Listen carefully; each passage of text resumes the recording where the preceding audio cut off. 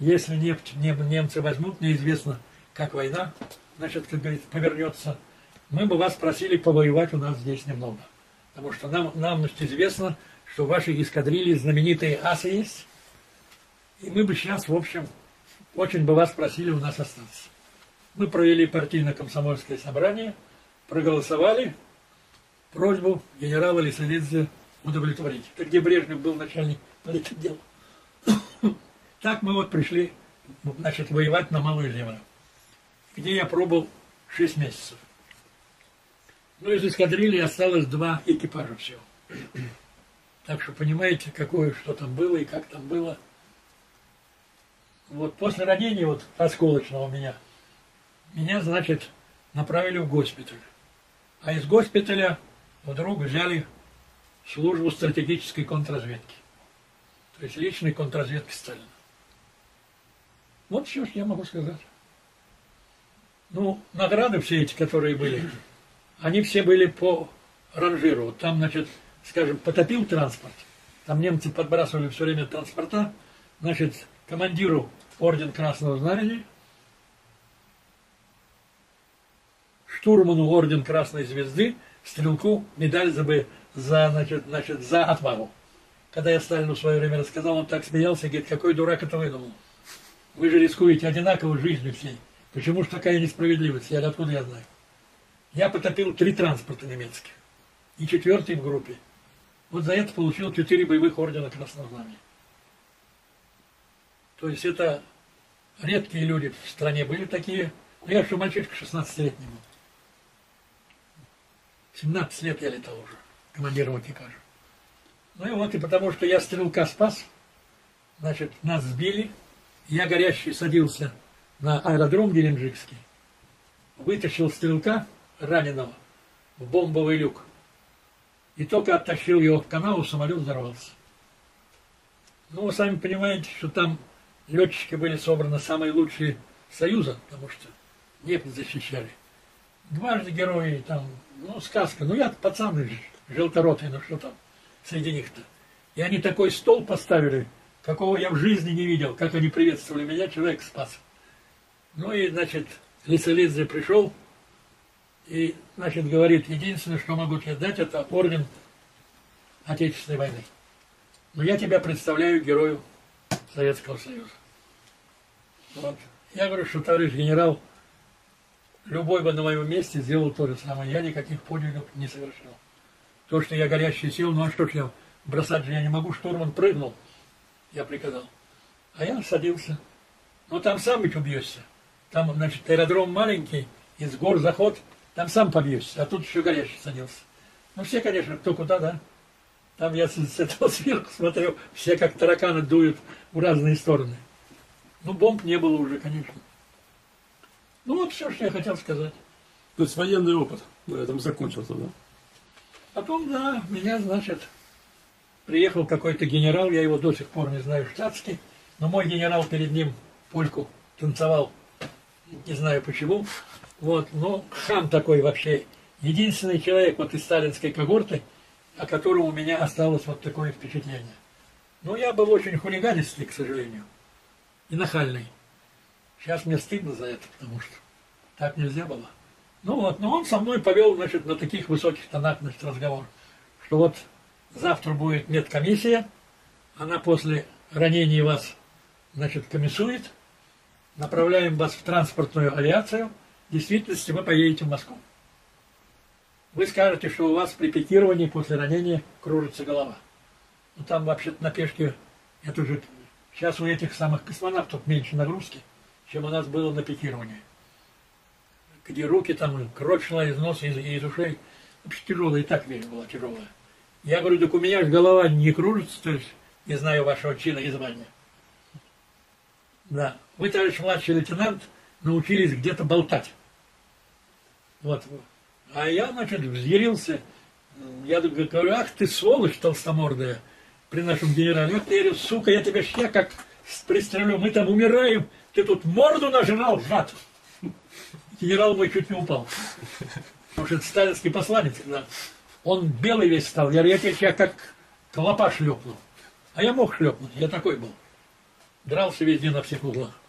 Ну вот, он, значит, сразу изменился и говорит, что, товарищ младший лейтенант, я выполняю приказ Верховного Главнокомандующего. Я говорю, так вы бы с этого начинали. Если это надо для партии, для Родины, я пойду куда угодно. Что ж вы на меня, я говорю, напираете? Я ошибся. Прошу извинения. Ну, я говорю, ладно, значит, меня комиссовали. То есть на боевых самолетах я летать не могу. Комиссия, значит, написала. И после этого я пропал. Никто найти уже не мог, даже Хрущевская КГБ не могло найти вместе с Шелепиным. Куда девали. Вот, и сразу, значит, я поехал в Москву. Вы, говорит, полетите сегодня в Москву. Я говорю, нет, я не полечу. В авиации говорят, если можете не летать, не летайте. Я нет. Вот. Ну и приехал, значит, а вы представляете мальчишка, 17-летний, четыре боевых ордена Красного Знамени, медаль, то есть этот самый орден первой степени.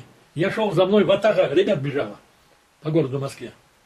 Я пришел к Спасским воротам, значит, встретил меня Поскребышев, помощник Сталина, и привел к Сталину. Вот так первый, второй раз в жизни я увидел великого вождя. Первый раз мальчишкой был, когда он меня в Артек направил, когда меня из школы выгнали. Вот. И мать меня привезла. И вот с тех пор я стал служить. И служил до 12 октября 1952 года. После чего он нас с Сашкой запихал с моим старшим братом в действующий резерв. Вот так кончилась моя служба. И пропали все мои награды, которые и так у него в сейфе остались. И не пустили нас, уже другие все. Тут тоже 24 штуки, и даже больше. Ну вот, вот все, что я могу. То есть, когда стали номер, вас уже не пустили туда, да? Меня при Сталине не пустили. Как он нас уволил, мы с Сашкой пришли, а нас не пускают на работу. Саша хотел его в морду, я вот что, офицер при чем здесь? Он же, это, это стул, что приказали, то и делает. И все мое осталось. И он, когда мне позвонил, Сталин, я говорю, что ли, Сталин, награды хоть отдайте. Ну что, когда надо будет, получишь. Он мне за две, смерти, за две недели до смерти позвонил. Когда выходишь на работу. Я тебя не увольнял. Я говорю, вы же меня выгнали.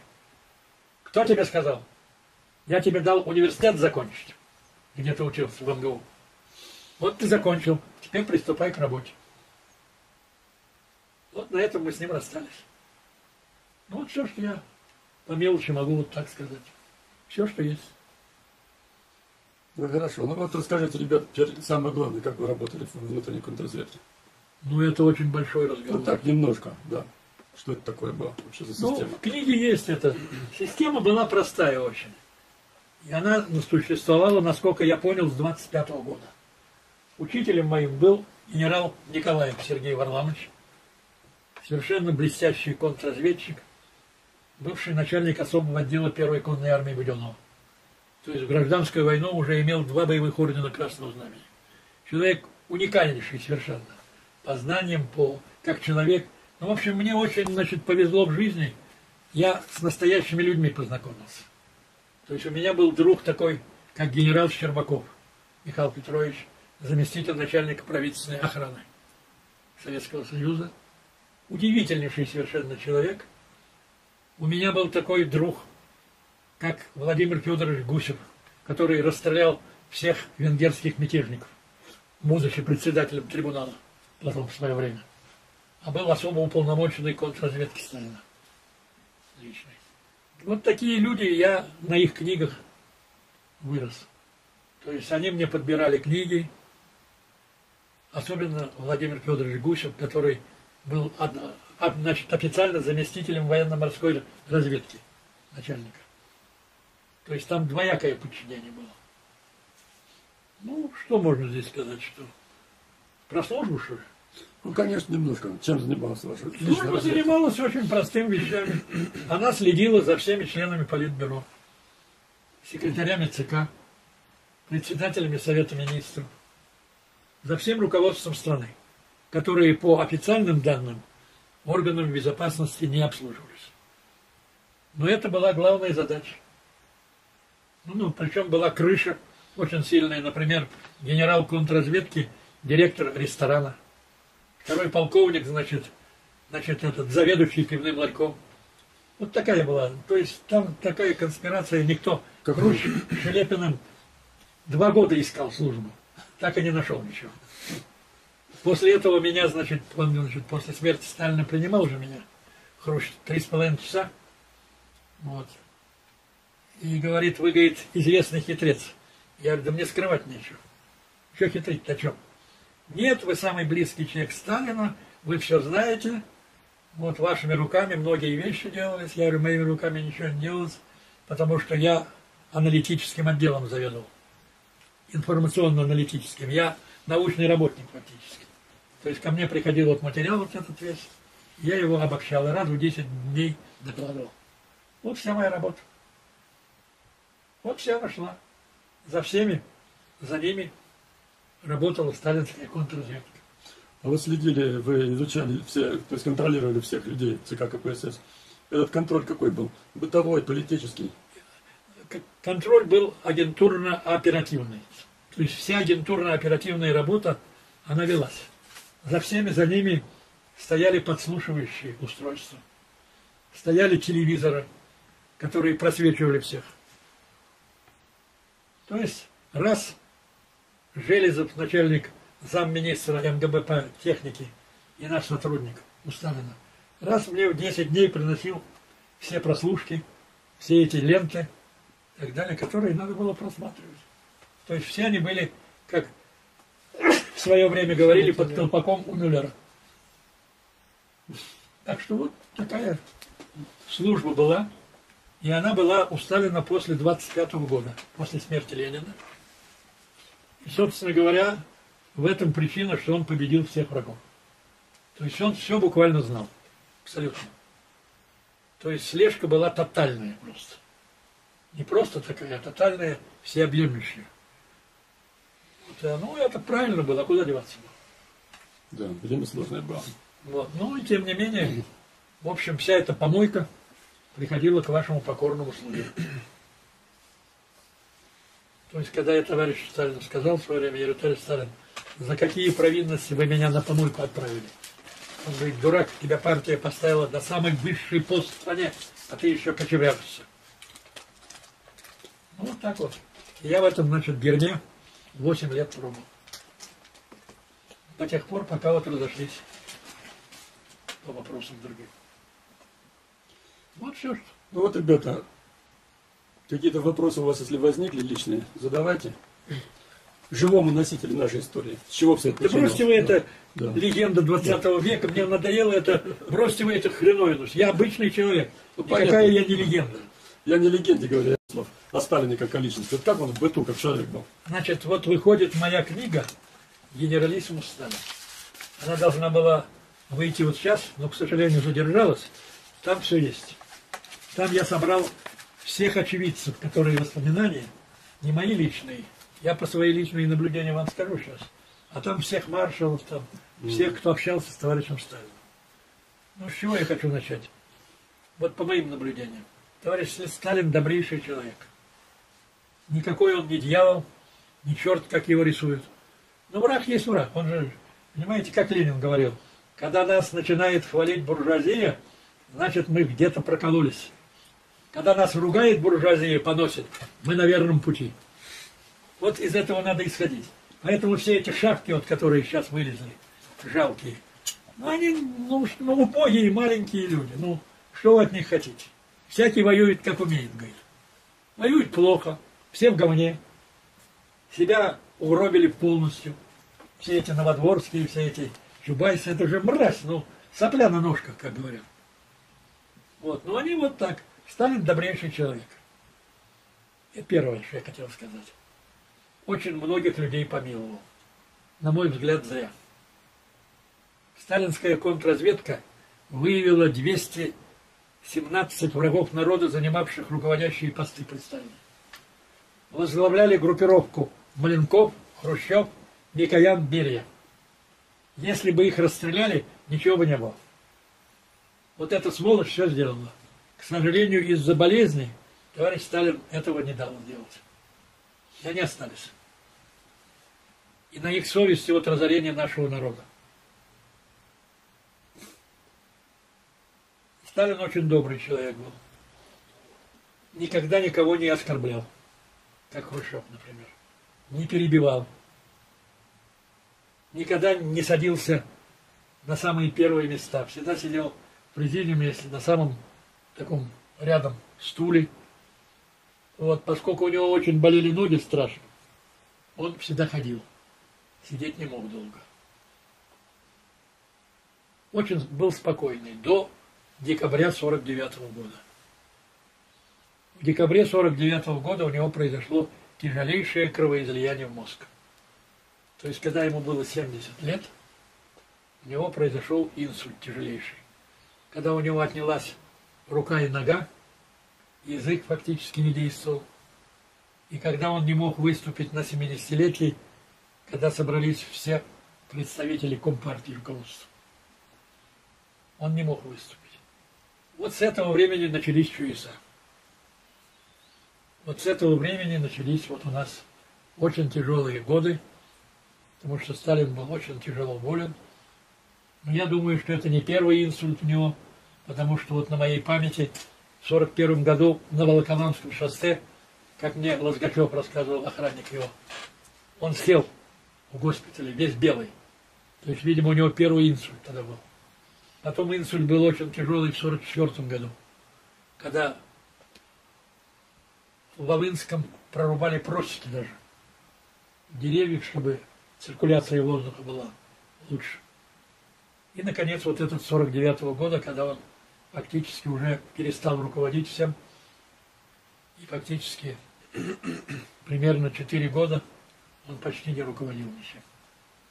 И одна половина у него действовала это это вот теория, эти книги все бесподобные. Причем я вам хочу сказать, когда говорят там, кто Сталин, там, как он учился, семинарист, возьмите его произведения, сравните с любыми, и вы увидите, кто такой Сталин.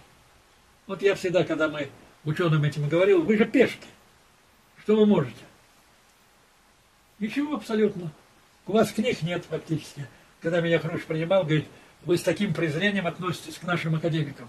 Я говорю, так у них нет ничего, товарищ Хрущев. У них кроме диплома ничего нет. Вот вы нас критикуете, у нас книги есть. Вы можете соглашаться, не соглашаться. Вы можете критиковать, потому что, но у нас нет, а у них ничего нет. Ни у Поспелого, ни у кого нет ваших. Книг у них нет, трудов нет. Для меня ученый без трудов не существует. Это, это блеф. Вот, поэтому вот, когда он, значит, он говорит, пожалуй, вы правы. Ну, в общем, значит, три с половиной часа принимал меня, я понял, что он искал сталинские архивы. Владимир Михайлович, а где сталинский архив секретный? Я откуда же я знаю, Никита Сергеевич? Я же не архивариус. Где они могут быть? Я не знаю. Вы все знаете. Я говорю, нет, я ничего не знаю. Я говорю, вот то, что мне дали документы, и я книжку написал вот Сталин. Я вам могу дать. Да, но вы же их отдали.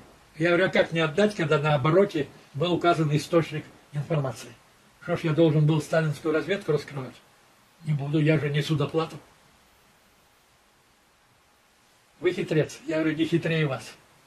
Вы видели, как он обрадовался, чуть целовать не бросился. Какой он хитрый и умный. Вот такие все вещи. Пожалуйста, что еще? Вот охарактеризовать, как вы можете вот, ближайшее окружение, вот, то есть Хрущев, Берия, Маленков, кто там еще был, там Молотов. Как, ну, у людей, меня на всех на них были агентурные дела. То есть все они были под колпаком, и поэтому я их всех хорошо очень знаю. Берия мой клиент.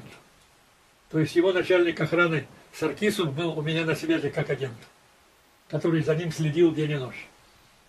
Потом на него написал, значит, Абакумову министру рапорт. Он, правда, чокнулся. Так он умер потом, отлично.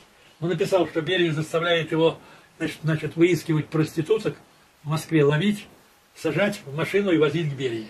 Ну, какой дурак может написать? Абакумов написал резолюцию. Вам поручено охранять членов Политбюро, а не следить за ними. Ну, вот такие вещи были. Поэтому они, я вам могу сказать, что все они люди совершенно слабые, на мой взгляд. У Сталина был подбор удивительных людей. Министры все, все были гении. Ни одного министра не было удовлетворительного. Все министры сногсшибательные. Члены политбюро серые.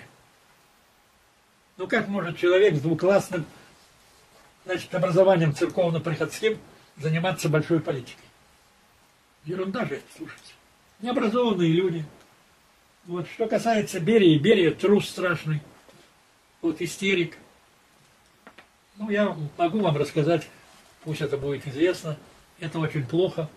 В свое время, когда Берию сюда взяли, нарком НКВД, Косарев, секретарь ЦК комсомола, набрал на него в Грузии материал, что он шпион там и так далее. Ну, то, что было английским, мусуматистский.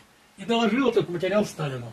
Так называемая синяя папка была. Ну и вот, Сталин, значит, вызвал Берию и, как всегда, вежливо поинтересовался его самочувствием, самочувствием его родственников. Вот, а потом говорит, вот, на-ка, нате-ка, ознакомьтесь с этим материалом. Что вы можете на него об этом сказать? То попал на колени, как мне Николаев рассказывал, и я его, говорит, за ноги от ног от, оттаскивал Сталина. Он бросился целовать сапоги, плакал, как, не знаю, верещал буквально, что прошу меня простить, я, э, я значит, заглажу свою вину. Я все... И Сталин промолчал, потому что Сталин никогда таких дел не делал руками своих близких. Он очень берег всех людей. Все дела делались вот такими, как Берия. Грязные, если что. Ну и он, значит, посмотрел на него, и как ему свойственно вождю, он был исключительно ну как вам сказать, человек остроумнейший.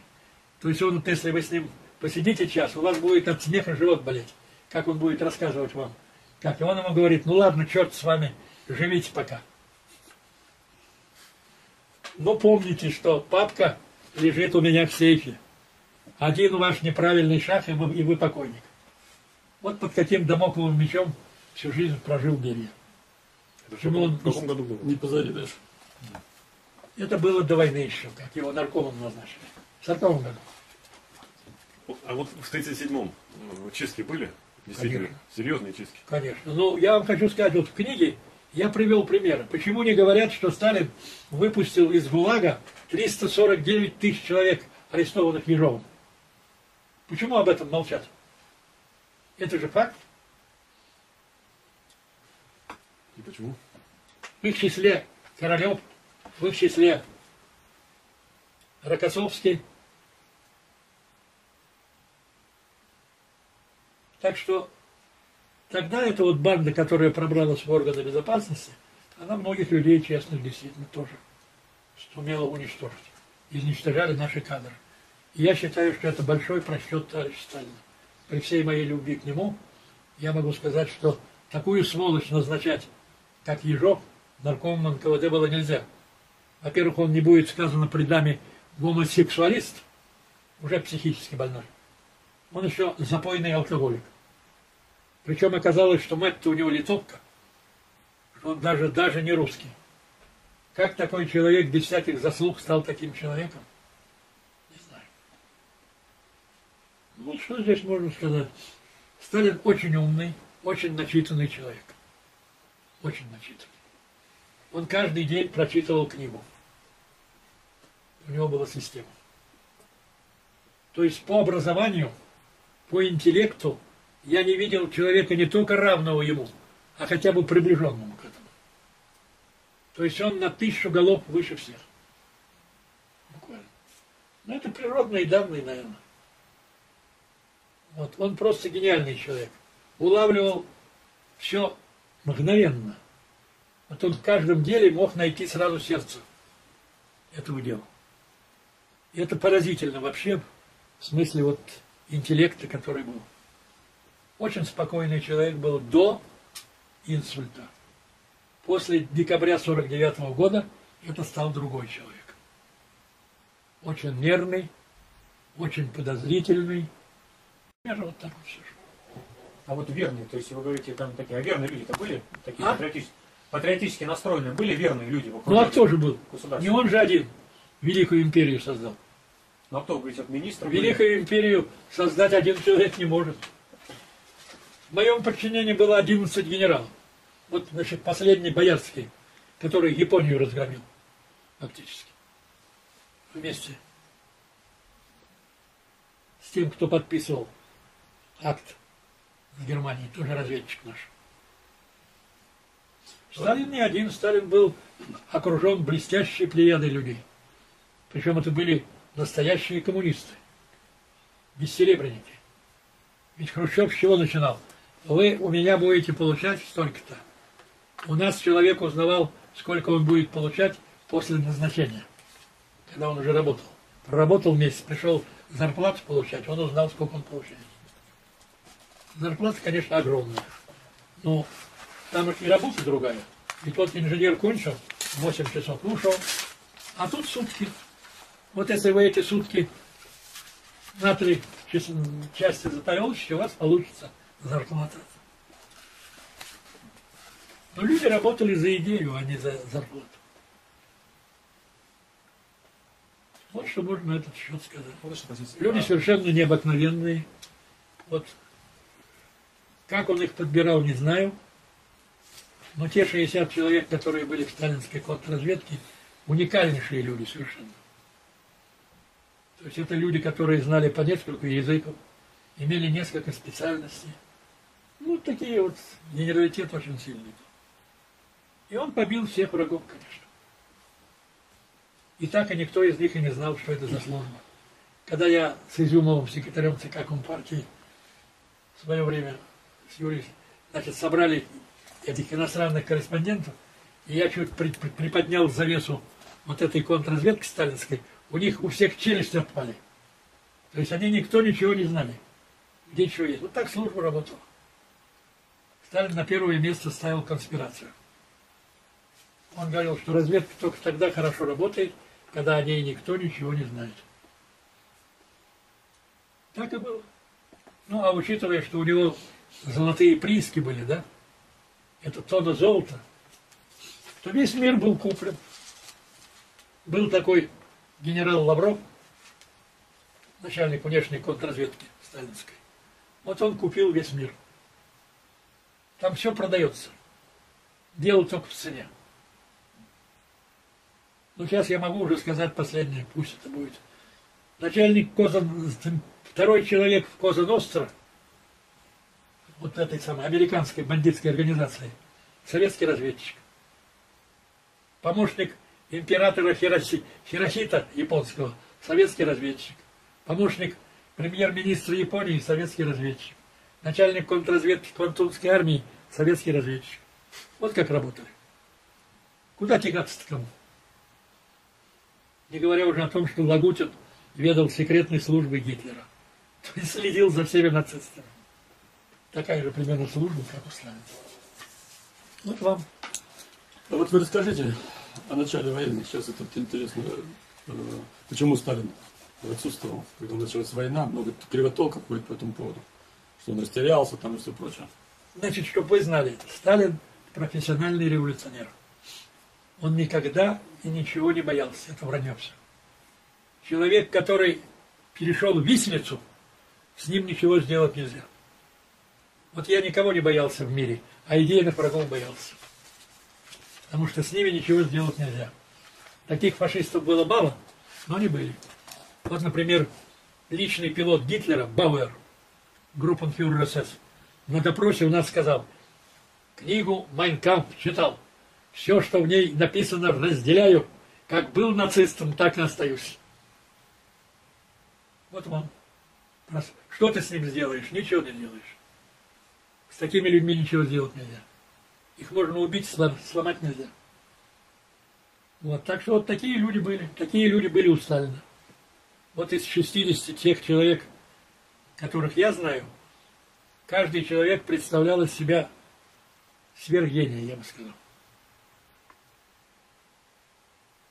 Не только по своим идейным убеждениям, но и по своей грамотности, по своей профессиональной закалке.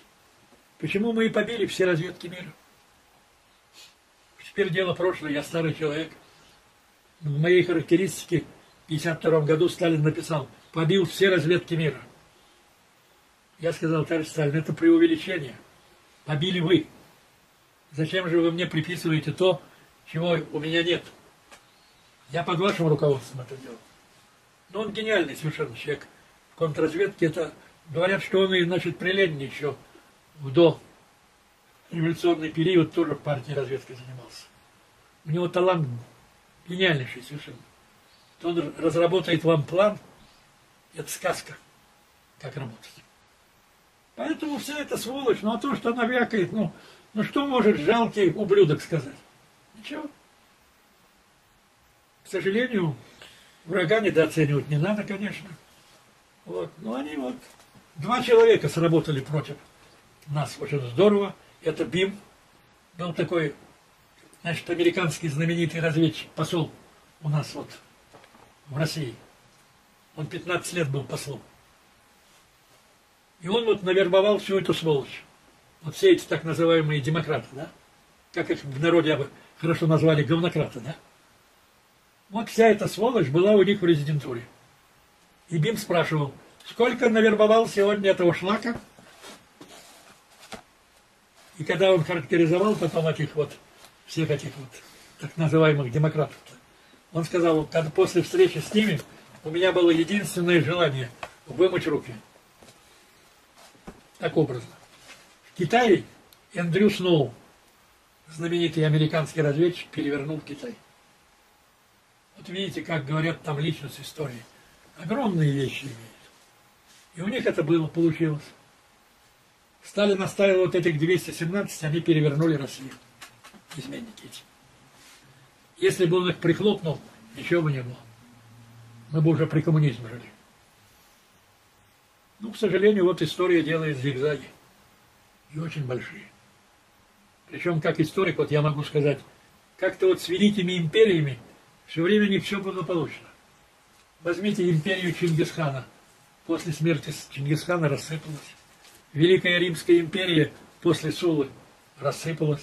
Наполеоновская рассыпалась. И так далее. Вот такие в истории зигзаги почему-то делаются. Уходят великие люди, приходит жалкая шпана, и начинаются вот эти все судороги. Это уже не зигзаги, это уже закономерность. Вот какая-то закономерность есть, да. Вот такого плана. А Вот, например, Сталин прекрасно знал римскую историю, греческую историю. И он со мной ведь каждую неделю занимался два часа семинаром. То есть давал мне книги, потом спрашивал, а что ты в этой книге понял? И говорил, нет, неправильно ты понял. И вот он говорит, кто у тебя в Римской империи главный герой? Я говорю, Люций Корнелий Сула, товарищ Сталин. Не Цезарь? Я говорю, нет, не Цезарь.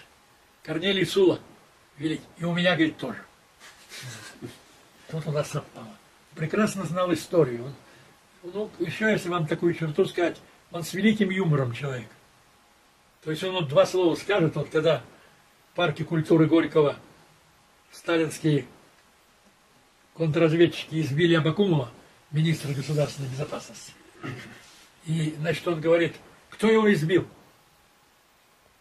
Жуга говорит, товарищ Сталин, уголовники.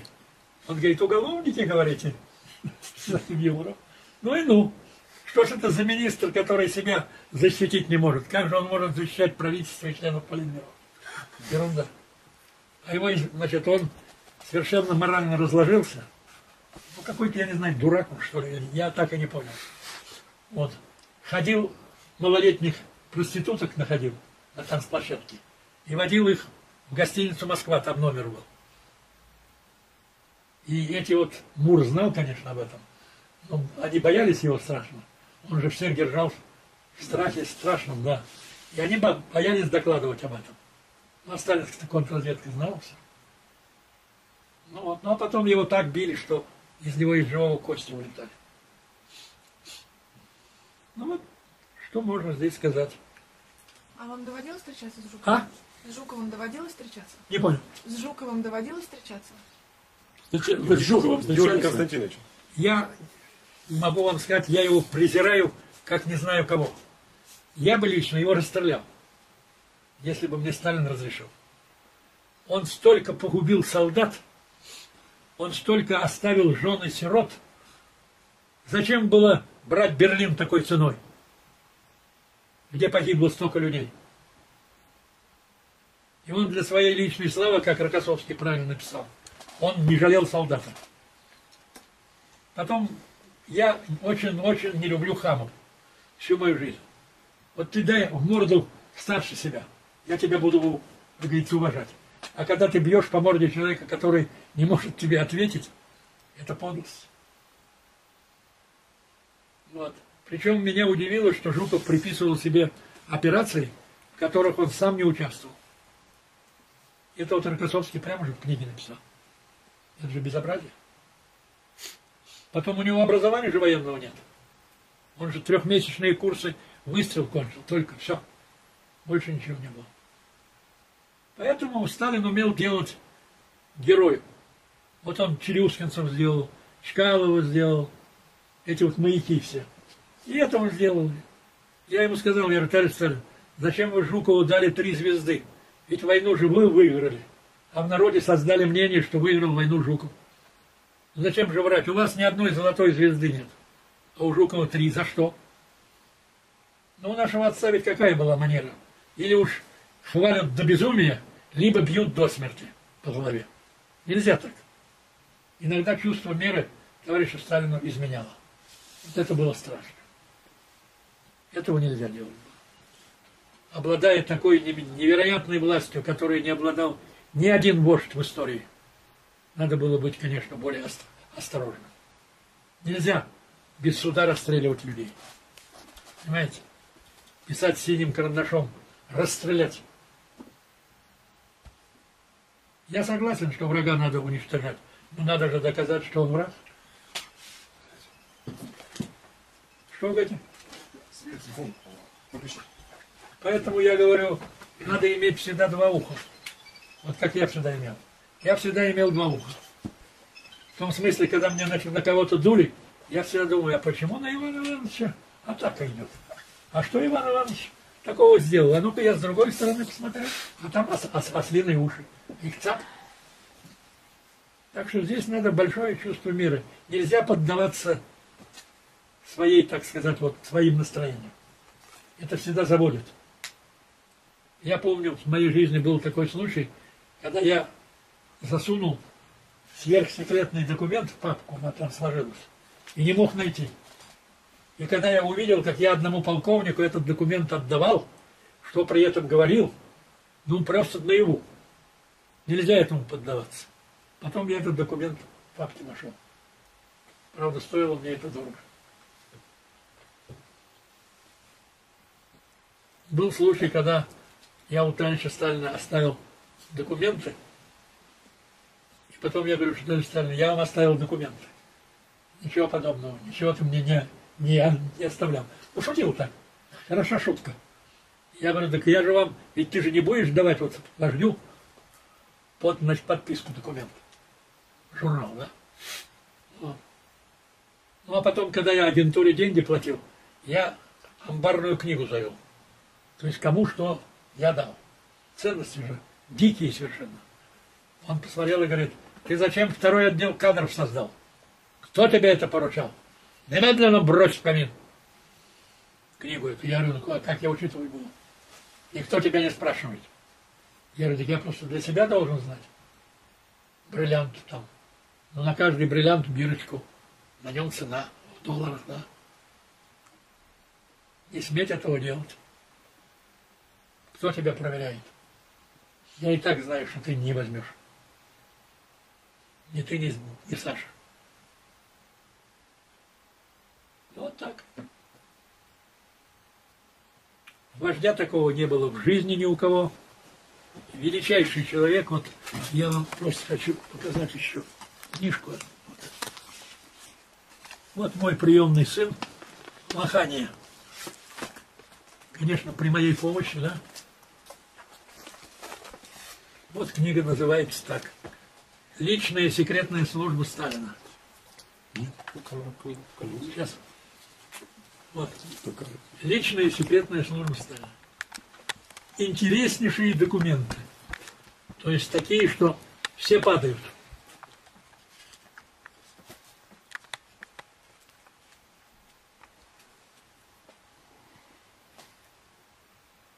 Вот он что написал. Рождение этой книги стало возможным благодаря знаменательному, знаменательному появлению в моей жизни Владимира Михайловича Жухрая, человека удивительной судьбы, профессора, историка, автора замечательных всемирно известных книг «Сталин. Правда и ложь», за, за что мне дали этого, этого значит, почетного академика Брюссельской академии мировой. Я же почетный академик Брюссельской академии еще, плюс ко всем этим делам. Это за книжку за Сталин, значит, правда и ложь.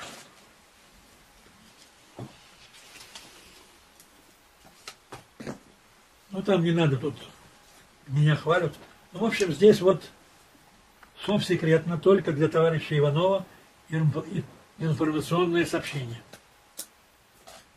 Примерно в 1933-1934 годах Киров, беседуя с Орджоникидзе и Кассиором, сказал, пришло время положить конец внутренней борьбе. И это в то время, когда эта классовая борьба в стране приняла особенно ожесточенный характер. Николаев пишет. Спецсообщение о покушении на Кирова.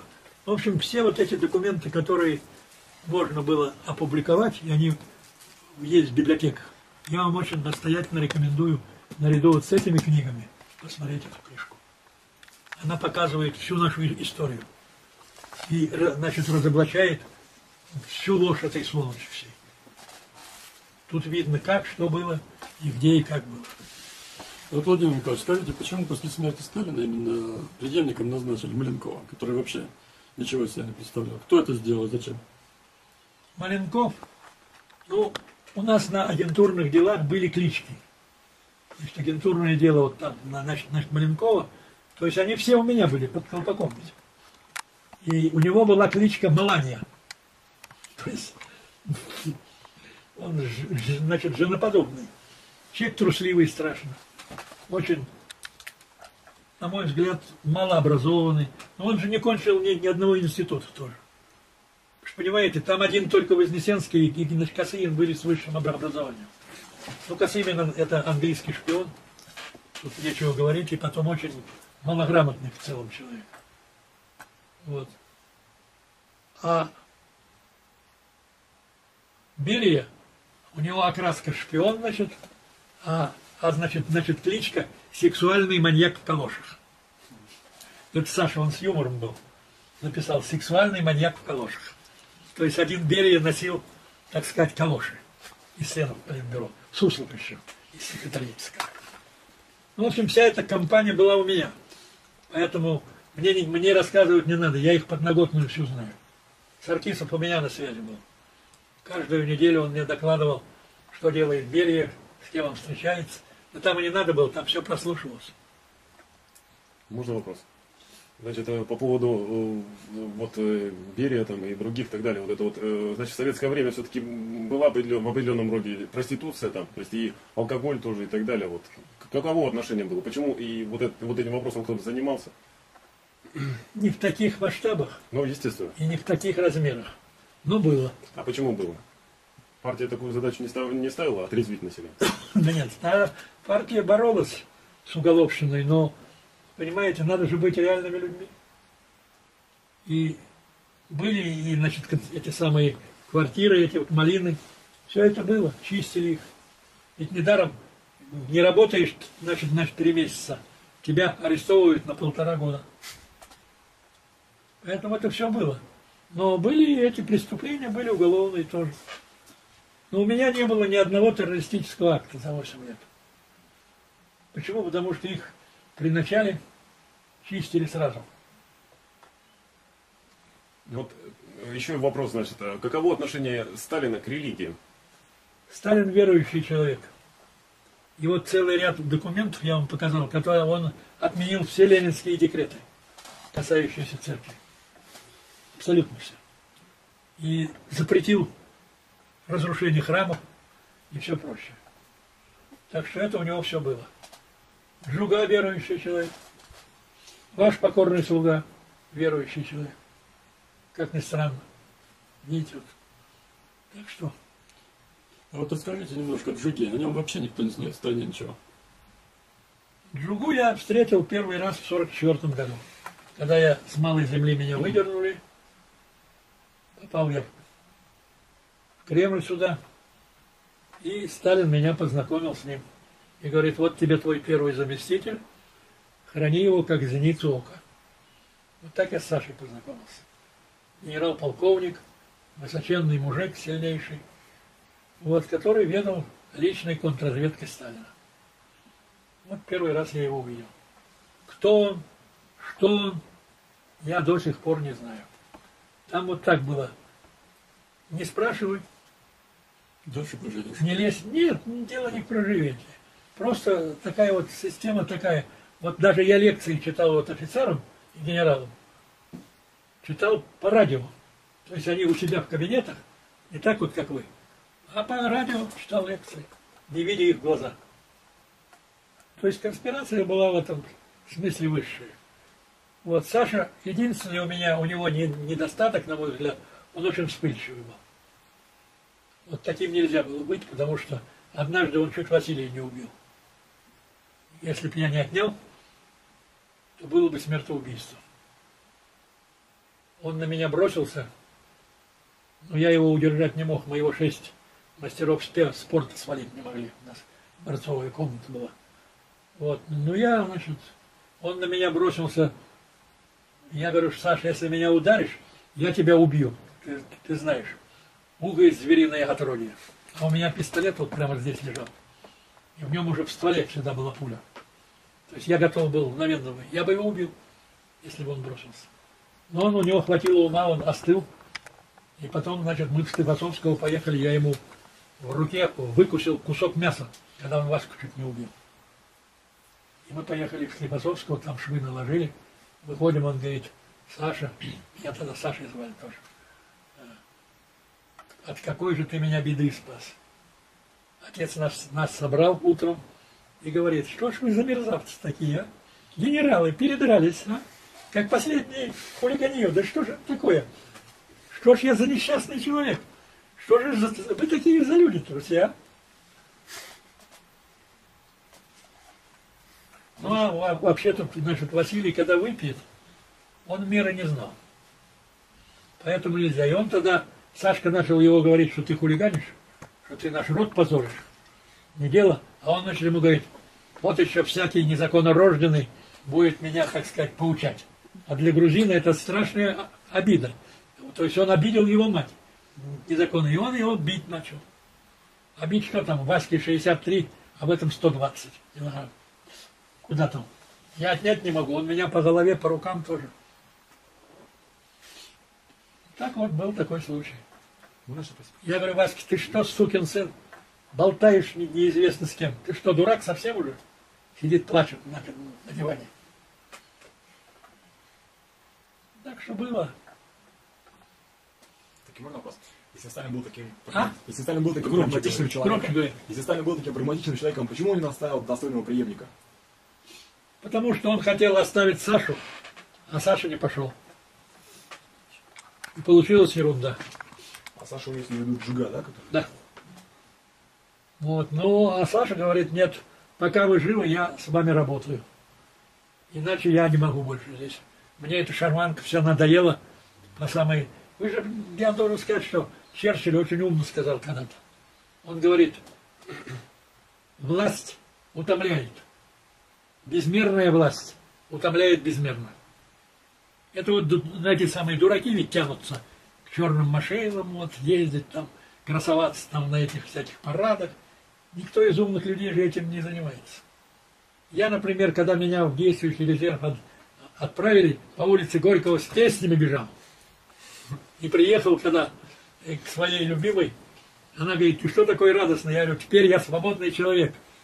Я был вообще в золотой клетке. А теперь я сам. Никто мне не нужен. Вот как надоело. Никуда, куда бы ты ни шел, за тобой идут. За членами политбюро ходил 9 человек, за мной 7. Я иду, значит, в университет экзамены сдавать, я на вечернем учился. Вся охрана стоит. Я иду гулять куда-то, на лестнице все стоят. Ну что это такое? И никуда уйти нельзя. Он же утром вот в Сочи, он же в Сочи по полгода был. Утром звонит в два. Ты где шлялся ночью? Никто найти не может. Я говорю, агентуру принимал, товарищ Сталин. Знаю я твою агентуру. Я говорю, ну если знаете, о чем спрашиваете? Не груби, мальчишка.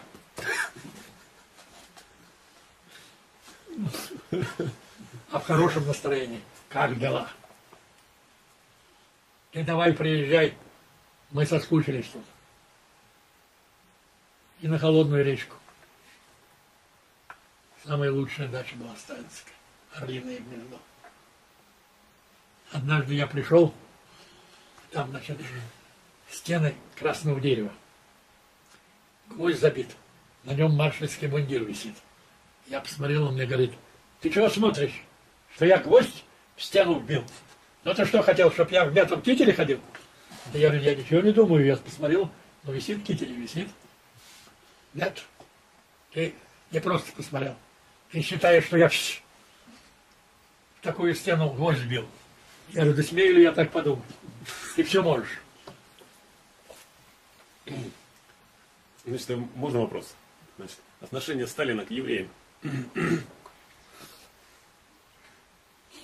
Значит, если бы не Сталин, ни одного бы еврея уже на, на, на этом земле не было. Что если бы он не уничтожил Гитлера, Гитлер бы уничтожил всех евреев. Вот это евреям надо помнить всем. К сожалению, их так настроили, что они это забывают. Почему?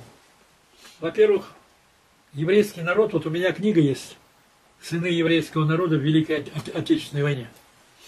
Я написал, вот это все у меня есть. Да. Очень хорошая книга. Причем вот эта шпана вся, она этот вклад весь отняла. Еврейский народ вложил огромную долю в победу. Огромную. Уже не говоря насчет ядерной бомбы. Харитон, Зельдович, Алиханов, Йофе. Это вот создатели водородного оружия нашего. Сахаров тоже? А, со, а, а нет. Сахаров, я вам скажу, это он, во-первых, психически больной. Его не брали, ну, в общем, в 48 году вашему покорному слуге навесили три объекта атомных, плюс моим еще делам. Я пропал тогда, когда я по три часа спал, и Сталин сказал, что если их поднимут на воздух, мы погибли. И вот тогда, значит, без моей закорючки внизу не было ни одного назначения. И мне принесли, значит, вот на подпись, а потом уже у Сталина все было. И я на этой сахаровской, значит, анкете подписи не, не, значит, не поставил. Потому что была справка, что он психически больной. Вот.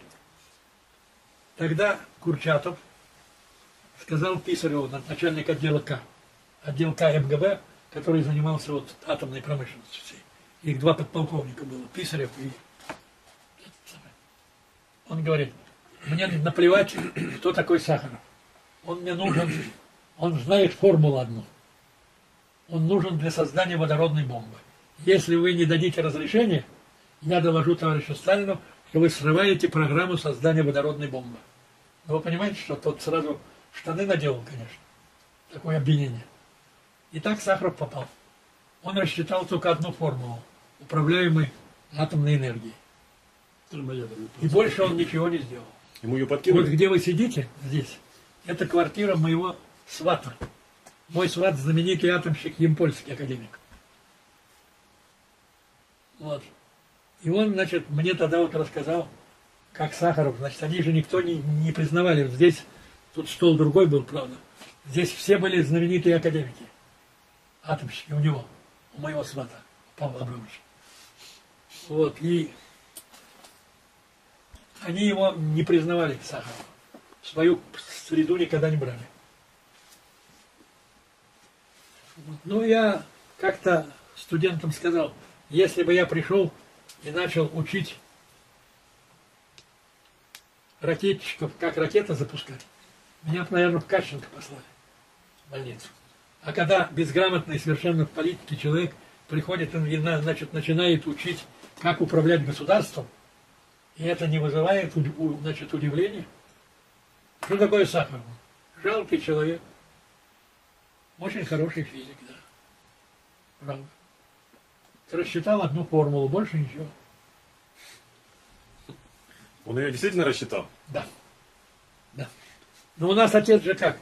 Либо он хвалит до безумия, либо бьет до безумия. Зачем ему три звезды давать? Ведь он им всем навешал по три, по четыре звезды. Четырежды герой Советского Союза. Ну, ну нехорошо это все. Вот так вот было. А вот э, в свое время Сталин поднял вопрос о медиках. медиках. Так вот я вам хочу сказать, да, с этого начинал. Значит, в моей книге вы это все прочтете. Показано, что это провокация англо-американской разведки. Две цели было у них. Первое – восстановить против нас мир. И второе – это вот еврейство восстановить. Вот оно сейчас самое ведь такое ходовое совсем предательство родинцы. Они же везде тяпкают на всех этих углах. Но это не, значит, евреи. Евреи вот эти, которые выиграли войну. 250 командующих. Вот эта книга, я могу вам сказать прямо, что еврейский народ, после русского народа второй народ в войне. Но это забывается сейчас. Сейчас другой вытаскивается. Вот эти глупости, конечно. Вот у них очень есть националистические группировки, глупые до безумия, вот на мой взгляд. То есть они кретины. Причем гибнут, как тараканы. Но не успокаиваются. Вот есть такая секта Хабат. Это значит, наподобие дьявольской секты у нас в православии. Вот она у них заправляет. Поэтому евреи разные. Вот сыграли в войну величайшую роль. Если бы не создали ядерную бомбу, они вот Харитон все, неизвестно, как бы повернулся мир после войны и не сбросили бы американцы на нас ядерную бомбу. Так что у них заслуги большие. Но, тем не менее, они очень как вам сказать, в политике примитивной. Примитивной.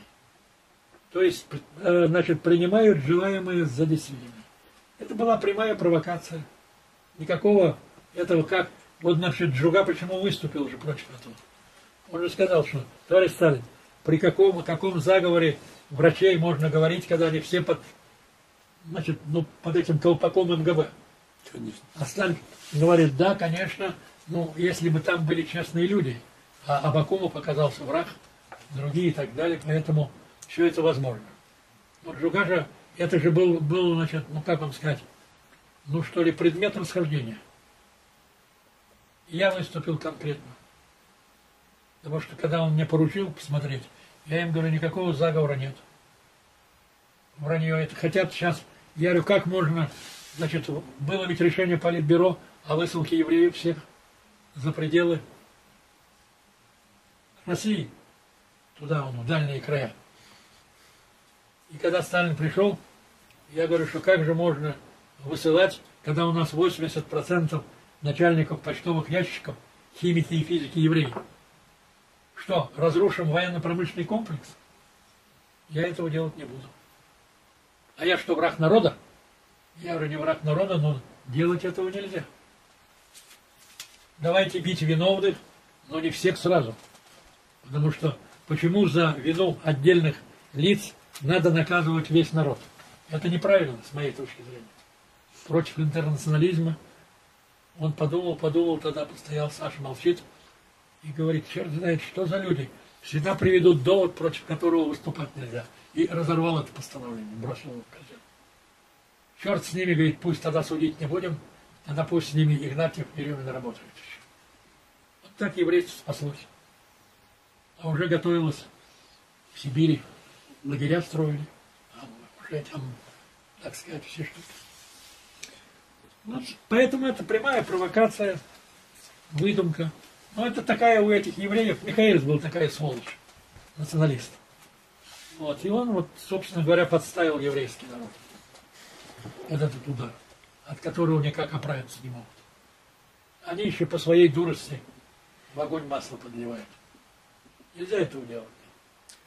За продолжение темы. А Поэтому это все вранье. А? Он там вопрос. Эдуард Ходос, он говорил, что Сталин, ну, ведь сами евреи, Громче. в сектах Хаббат как раз Пульсара громко. Тимура, ну вот, удар огнем. Секта Хаббат, да, вот Ходос пишет, что она и убила Сталина. Ну, Ну, Хаба- Хабадники. да Куда она может убить? Ну, Скажите, Товарищ. как Сталин умер? Вот, вот значит, я вам хочу сказать прямо. Я не верю, вот Авторханов, книжка этого чеченца. Ну, это вранье все. так. Да, лучше, как он умер, действительно, как он умер? Сталин очень болел. Как он жил эти четыре года, вот я вам живой свидетель. Я не представляю. Я знаю, как он болел. Как Алик с ним мучилась. Как он прожил эти три года, я не представляю после инсульта. Убить никто не мог. Как ты можешь убить?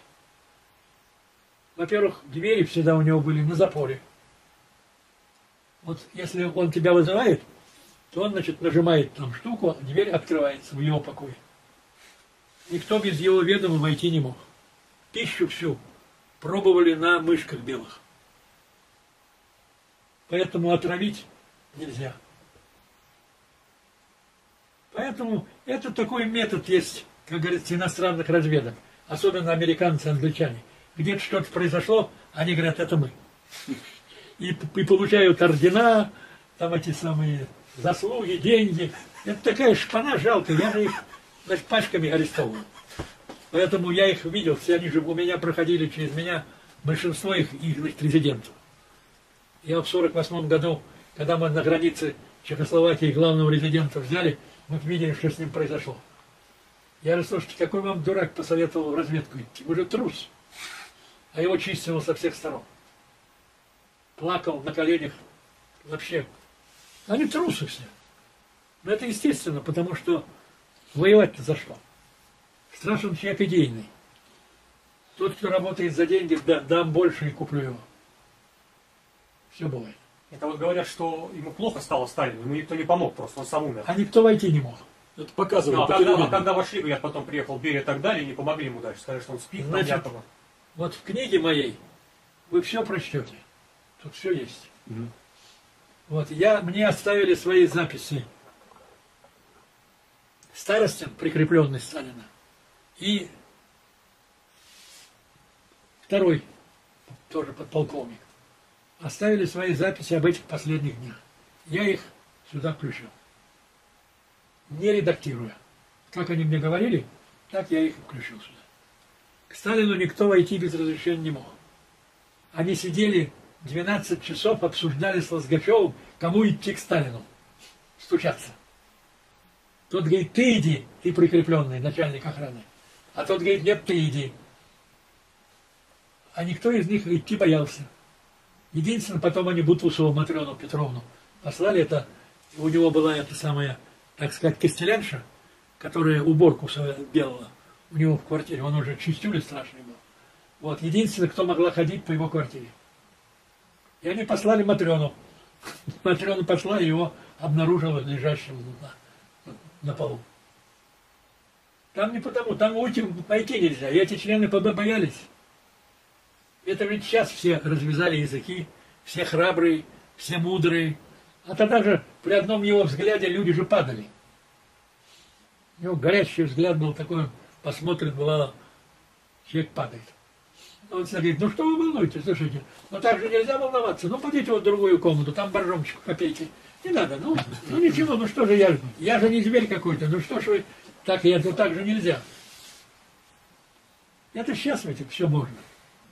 А тогда это совсем другое все было. И они боялись войти. Даже в окно заглянуть боялись. Вот еще, чтобы мифы развенчать, скажите, э, Сталин встречался действительно вот с таким некто Вольф Мессинг? Нет, никогда не встречался. Миф. Чушь, чушь это. Все понятно. Сталин вообще в суеверие не верил. Это не Гитлер. Все, правильно. Хорошо. Гитлер встречался. Он, у него же это теория-то ариев была. Она ему была подкинута, Гитлеру самому. Да. Но у них вообще это чудеса. Я допросил около двух тысяч немцев в 48 году лично. То есть всю разведку и контрразведку гитлеровскую, которую мы, значит, захватили, они прошли через мои руки. Там дельных людей почти не было. Но один был очень сильный. Не знаю кто. Рисовал хорошо очень. Ну, вот Бауэр, видишь, как сказал, был нацистом и остался нацистом. Скажите, пожалуйста, вот вопрос, значит. Э, как отбирать э, вот этих и находить идейных людей, тех самых, и есть ли, были ли системы методики отбора, вот как раз при принятии там, ну, вот, в различной разведке и так далее?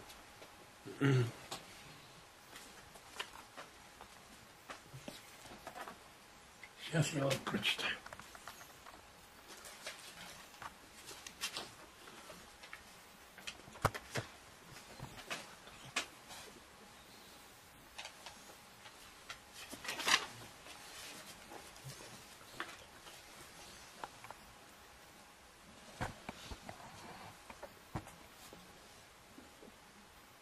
Главное положение о работе стратегической разведки и контрразведки. Первое. Тщательный подбор кадров. Настоящим разведчиком и контрразведчиком в личной секретной службе Сталина может быть один из миллиона. Второе. Разведывательной и контрразведной работе нельзя спешить. Нужно проявлять терпение и выдержку. Третье.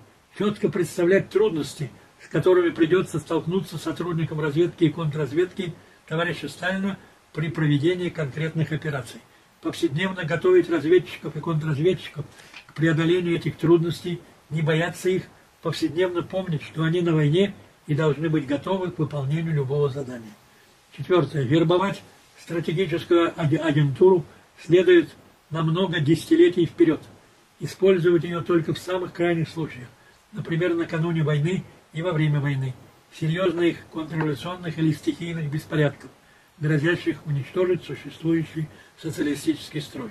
Пятое. Помнить, что шпионы и предатели вербуются иностранными разведками и среди советских людей, зараженных карьеризмом и взяточеством, желающих жить на широкую ногу, иметь любовниц, заграничные поездки и туманные, туманные перспективы захвата власти путем дворцового переворота в целях личного обогащения.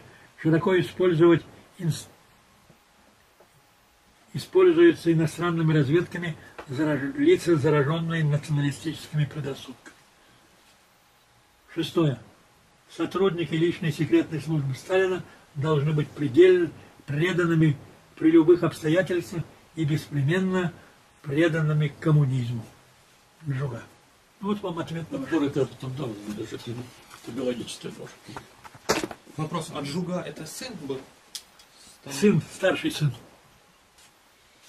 Откуда он и что он, я не знаю. А ваш отец кто? Откуда я знаю? Не знаете, понятно. Я, я не подтверждаю эти сказки, что они рассказывают. Вот поэтому я не знаю. Отец наш сказал, посмотри в зеркало. Когда-то на этот вопрос. И все, на этом, на этом закончил. Он же очень скрытный был. Ну, я уже сейчас могу сказать, уже вот мне будет, Бог даст, 84 года, такой любви, как у отца нашего, я ни, ни у кого не видел. Ну, чтоб из собственных рук сливами меня, меня кормил на холодной речке. Это же надо было видеть. Саша говорит, вы его как маленького. Он говорит, и есть у нас маленький. А тот говорит, да, такой волк страшный, даже я его боюсь.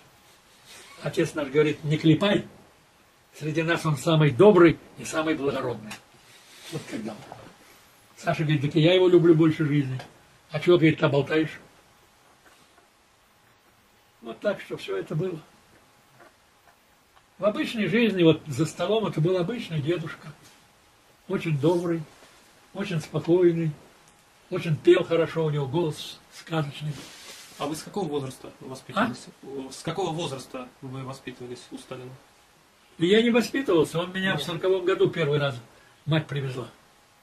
Первый раз я увидел Сталина в сороковом году, когда меня из школы выгнали за хулиганство. И вот вопрос, значит, по поводу как раз вот э, предвоенного периода. Э, Советский Союз уже готовился к войне, к Великой Отечественной войне. То есть э, вот уже учебники, вот насколько я в Омске был, там учебники были, значит, в которых уже шло о том, что действительно Я, я не знаю, то есть, но там вот в музее, там историческом, там интересно о том, что уже шла э, как бы вот идеологическая подготовка к тому, что действительно враги и что война возможна. Я вам тогда- приведу один пример, только вот которую я генштабистам провел. Когда я читал лекцию сотрудникам генштаба нашим, когда у них челюсти отпали у всех.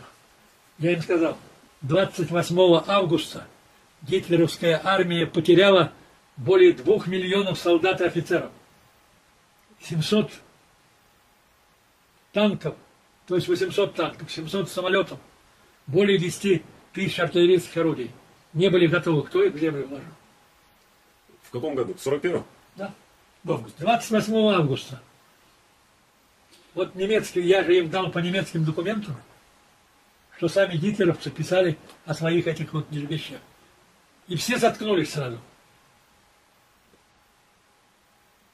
Если бы не были готовы, кто же вложил в землю сильнейшую армию гитлеровцев? А то, что они подошли к Москве, да, они не могли не подойти. Потому что Гитлер бросил все, он должен сказал, чтобы любой ценой взять Москву. Ведь некоторые немецкие части подошли к Москве, потеряв 80% личного состава. То есть они фактически перестали существовать. Гитлер, этот дурак, снял 28 командиров дивизий и корпусов. То есть он сам обезглавил перед московской битвой свою армию. За то, что они вот не выполняли его приказы. Приказы выполнять нельзя. А вот эти документы, что 2 миллиона потеряли, есть? А? Ну, есть документально, как в вашей книге подтверждение, да? Конечно. Да, в какой книге? А вот Сталин. Сталин, да? Посмотрите. Да. А вообще хотели воевать-то? Говорят, что у них союз был с Гитлером, или как вообще? И вот этот, и Ну договор вот Молотова у меня документы, я их туда переложил. Там вся гитлеровская армия. Все расположение немцев и наше. Накануне вот войны. Как на ладони все. В ночь Гитлер позвонил, дал, а, отдал приказ. Был такое? О, о том, что наступление будет через несколько часов. Чтоб пока- Нет, они первые, тут все в книжке, вот вы получите, увидите, когда первый раз Сталин узнал о том, что гитлеровцы готовятся напасть. Все здесь есть. Документ- Разведка работала очень хорошо. Поэтому это все было. Скажите, а первые лица Германии выжили кто-нибудь? Да? После войны первые лица Германии выжили? Их же судили всех. М, То есть Военным никто, трибуналом. никто не усилил. В Нюрнбергском процессе. Кто-то бежал? Их же, их же повесили всех. Не, ну, кто-то- кто-то бежал? убежал в Аргентину, там еще что-то. нет. По телевизору показывали. Черт его знает. Скорцени, начальник спецслужбы Гитлера, он остался. Вот. Ну, не знаю я, потому что трудно мне сказать. Ко мне на допрос попадали все, кто остался, кто нашу, от кого контрразведка наша взяла, я их всех допрашивал. Лично. Потому что я очень интересовался самой структурой гитлеризма, вот, и способностью, как они ее всю Германию в руки взяли. Они же взяли ее. Хорошая структура, да, была? Вот, так что все это было сделано. А, вот вопрос такой, э, значит, э, ваша, Там часы, посмотри, лежат. А, я их поставлю. Что вы говорите? ваша контрразведка работала при Сталине отлично, а потом э, что с ней стало? То есть потом, начиная с Хрущева, и в 91 году-то там же предательство А ее Сталин было. распустил в конце октября. 52 да? Да, он нас 12 октября я был направлен вместе с другой в действующий резерв. А зачем, зачем он это сделал? А кто его знает? Вы говорите, он уже У нас разговор был. Мы, значит, вот насчет этих евреев тогда поспорили. Потому что я говорю, что военно-промышленный комплекс нельзя разрушать. Я лично этого делать не буду. Ну, не будешь, другие сделают. Ну, я говорю, пусть делают. Вот, а потом он, значит, говорит, что... Саша говорит, что при таких условиях я работать отказываюсь. Вот нельзя этого делать. Ну, отказываюсь и без тебя. А мне говорит, ты его поддерживаешь? Я говорю, полностью. Тогда иди с ним. И я пошел. Вот так было. А потом все. Звонят, долго баклуши бить будешь. Когда работать возвращайся? Я говорю, когда прикажете? Ну, это типичная реакция инсульта человека. Да нет, ну нельзя. Теряет логическое мышление. Мать моя сказала, не смей к нему приставать. Он все равно ничего делать не будет. Потому что инсульт такая болезнь, которая у великого хана и простого смертного протекает одинаково. Не будет он тебя слушать. Ты только ускоришь его смерть. Ну, вот он и... Мать любила очень, с ней очень считался. Но она вообще никого не, не признавала вообще. Она была акушер-гинеколог знаменитый. Она вообще никого не, знала. Потом это было на руку Берии и всем остальным. То же самое поздно, внутренняя контрразведка, защита, и надо было ликвидировать. Поэтому было. Берию, во-первых, при, при увеличивать его роль, не надо его преувеличивать. Он ничего не делал после снятия его с НКВД в 1946 году. Его Джуга сбросил, и он никогда не лез никуда. Тоже вот тут есть в книге, как они там беседовали. Все это ерунда. Поэтому такого гения, как Сталин, никогда не было, да и вряд ли будет в истории. А что все-таки стало стержнем? Человек очень спокойный. Ну, Брежнев же меня в советники взял. У меня был, был значит, в истории такой период в моей жизни, когда я с Александром работал, с его главным помощником, который, в общем, был генсеком нашим. И после снятия Хрущева они сразу меня привлекли в качестве консультанта. Вот, и я ей говорю, Александрову, я говорю, Андрей Михайлович, зачем вы меня взяли? Мы же враги. Э, говорит, не знаешь, врага надо под боком держать, тогда спать можно. Я говорю, ну давай, давай. Брежнев очень добрый, очень хороший человек. Но, к сожалению, как политический деятель, он, конечно, такой вершины не мог охватить. А человек очень добрый, очень хороший. Насколько я вот мог видеть, он очень приятный человек в общении. Ну, не дано. А что не дано, то не дано. А Андропов, Андропов. Шпион американский. Хотя обо мне дал наивысшую оценку. То есть такую оценку дал, что вчера товарищи приезжали, которые с ним беседовали, какую он мне оценку дал, как работнику. Ну, шпион. Он же все сделал, за спиной Брежнева прятался. Он же подготовил весь этот развал. Ну, чудеса, вот я же вам говорю, чудеса, вот, видишь, Ну, Андропова убрали потом? Или он сам ушел? Ну, в смысле, ну... у него говорят- почки отказали. Да. И говорят, ему яд ввели, нет? В Нет, Кремлевской больнице. Да нет, ну какой я. Он год его, мой, значит, товарищ Лопухин академик лечил год его. У него же отказали почки совершенно, он жил на гемоанализе, на этом очищении. Нет, кто его? Тогда этого не было. Скажите, вот эта книга Белого, в которую такие всякие вещи Вранье описаны? Вранье. Во-первых, белый это... Я ему не стал тогда говорить, я у него на даче был. Ну зачем старика бить? Я- Вы знаете, что его пристрелили недавно? Ну, он сам говорит, умер. Сам умер? Или опять э, утку самое? Наверное, узко. Да вот же Ан- Андреев же с ним. У него же начальник штаба был. И когда они ко мне пришли, я говорю, какой ты разведки командовал? Расскажи нам. Но не было такой разведки. Он же Жукову э, приписал, что Жуков ведал разведкой. Ну, братцы мои, ну, если чувство меры брехни все это. Ну, нету. Каждый врет как может. Как очевидцы. Понимаете, беда просто. Причем самый маленький человек мнит рассказать, какой он, как что он знает. Это раньше так этих самых одних этих любовниц подставляли. И они, дураки, болтали всякие глупости, чтобы значит, показать, какой он авторитетный, да какой он малый и сильный. Дураки. Отдел целый был, назывался отдел ласточки. Ну, Это же кошмар вообще. Ну, лучше всего этого не знать. Это, это нехорошо, что народ не знает. Ну, сейчас народ много чего стал читать. Глаза разбежались. Вот я говорю, что вот вам вся история сталинской государства в конкретных агентурных донесениях контрразведки. Интереснейший совершенно документ.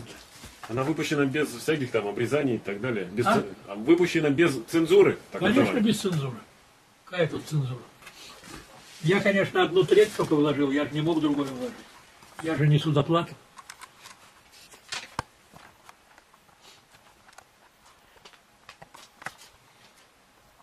Сейчас вот я некоторые документы вам зачитаю. Ну, вы в библиотеке найдете книжку. У меня она одна. Их не переиздавали? Не переиздавали? Нет. сканировать надо. Ну, конечно. Я к чему стремлюсь, пока это все есть еще.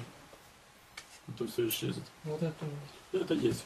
Сейчас вот одна. В ходе гражданской войны примерно 2,5 миллиона активных контрреволюционеров было уничтожено. Примерно столько же бежало за рубеж. Остальные все остались в стране и потенциально составляют базу для антисоветской и шпионской деятельности. То есть база была.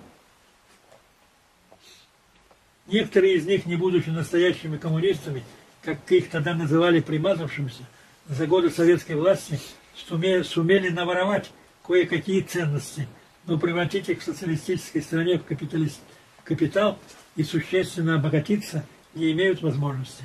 Отсюда их мечта путем заговора изменить суть существующего социалистического строя, реставрировать капитализм. Именно эти люди становятся легкой добычей иностранных разведок. Вот что и произошло. Но дело опять же в архетипе человека, то есть в его программе врожденной. Поэтому ты Еще в годы гражданской войны иностранной военной интервенции правительство Англии инструктировало свои разведывательные службы. Большевиков следует рассматривать как открыто признанных врагов. Как ин- инструктируют свою агентуру иностранные резиденты. Выступайте смелее против генеральной линии партии. Если схватят за руку, покайтесь. Только и всего. Большевики люди добрые и, значит, доверчивые. Простят. Выполняя эти инструкции с лицемерными покаяниями речами на 17-м съезде, в 1934 году выступили Бухарин, Зиновьев, Каменев, Ламинадзе, Преображенский, Пятаков, Рядок, Радок, Рыков и Томский.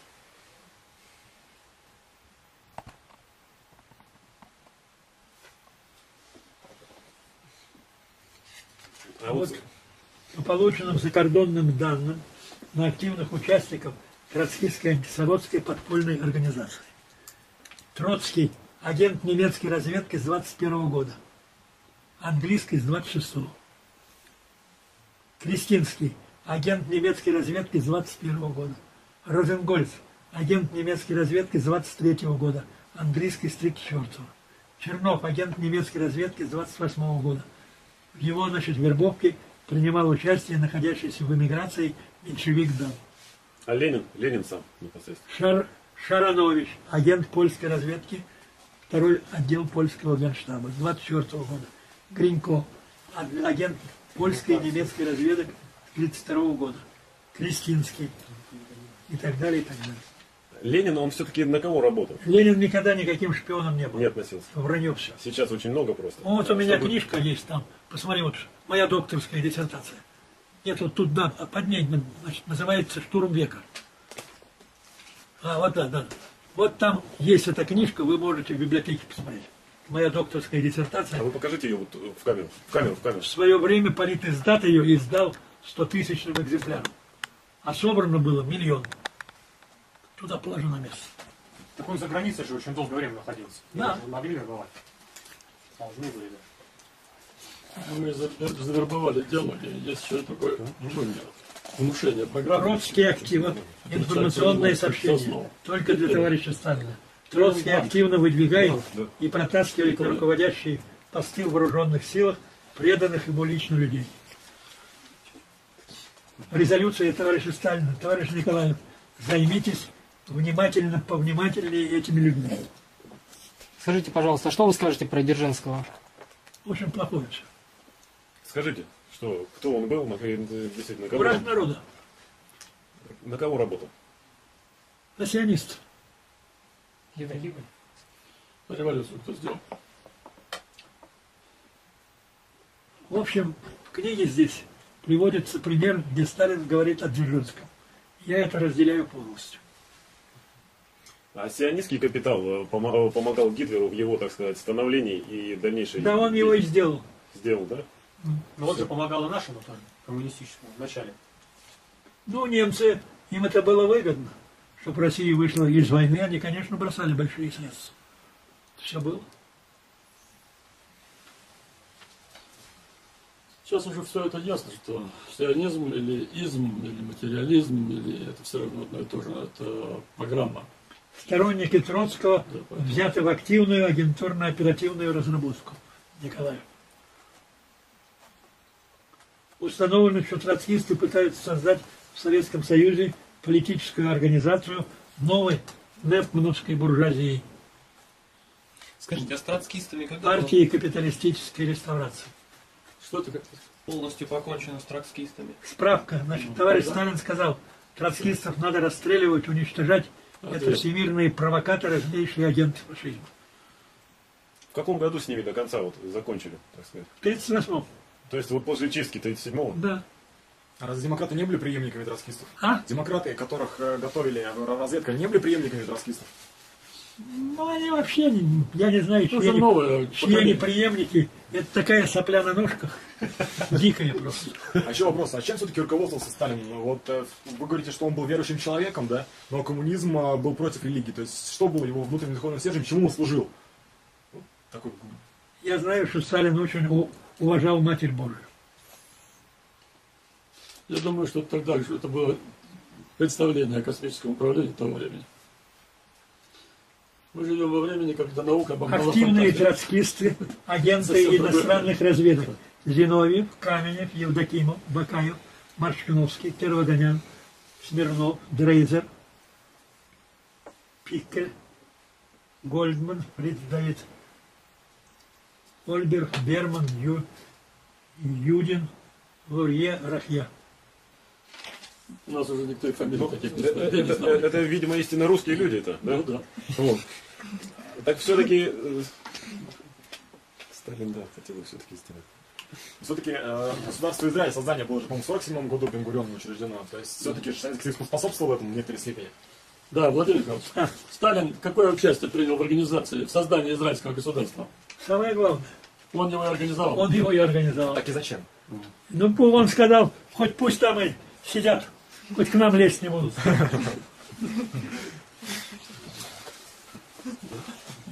Понимаете, вот что у них, вот я вот вам могу как молодым людям будущего, будущего сказать, они принимают действительное же за, значит, желаемое. Это самый главный пробел сионистов. Они такие дураки многие, дикие просто, кретины. Но мне из, из себя идет живот вперед, ноги кривые. Заново. Но главное, это их все-таки заслуга в том, что они от имени Бога все-таки учат других жить. И много, много тысяч лет, между прочим, Владимир Николаевич. Вы когда-нибудь... э, За вдовой Кирова Марии Маркус ведется повседневное негласное наблюдение. Николай. Что вы говорите? Что вы говорите? Я уже прервал фразу. Я... Да говори, говори, я слушаю. Нет, а вот Киров все-таки кто принял участие? Говорят, они там друзья были лучшие со Вранье Сталиным. это все. То есть, э, что У меня на него целое дело было, на Кирова. Он, его хотели выдвигать на генсека и так далее. Он в свое время Керенскому приветственную телеграмму послал. Он же меньшевик активный. Никакой не большевик. Карапет такой вот. Очень морально разложившийся совершенно человек. Заним- Занимался актрисами этого оперного театра. Поэтому они же в пещере там обсуждали вопрос о замене Сталина как генсека. Ерунда это. А Жданов был лучшим другом? Алкоголик. Жданов, да? А Клим Ворошилов. Да, Владимир Николаевич, а к Климу Ворошилову как относитесь? Ну, по-разному. Гражданскую войну он сыграл очень положительную роль. Вот. Как человек он ни во что не вмешивался. Но он нас подставил в Финляндии очень сильно. Как Сталин говорит, говорил, все в порядке у нас, все в порядке, а оказалось, ничего не в порядке. И с большим трудом, может быть, и война бы иначе повернулась, если бы не финский провал кампании.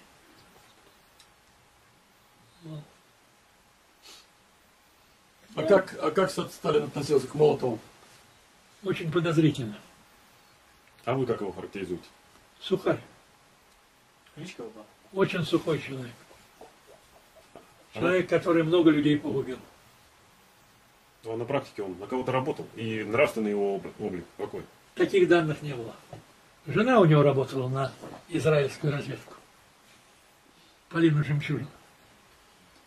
Это да. Скажите, а Гольдман, да? у книги Судоплатова это Что? Книги Судоплатова. Это как вы их Очень вредные книги. Потому что он рассказал о таких вещах, о которых вообще бы рассказывать не надо было.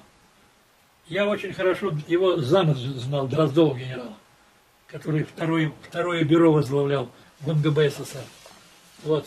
Когда я его спросил, а как ваш шеф в четвертом управлении? Он говорит, как оперативник замечательный, как коммунист никакой. Вот вам характеристика Судоплатова. А вы слышали А про материал? книги Суворова? А? Про книги Виктора Суворова слышали? Ну, это ерунда все. Чушь. Ну, я вам могу зачитать. Сейчас.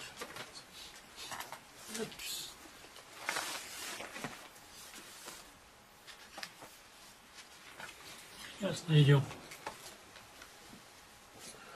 Очень много книг написано разведкой американской.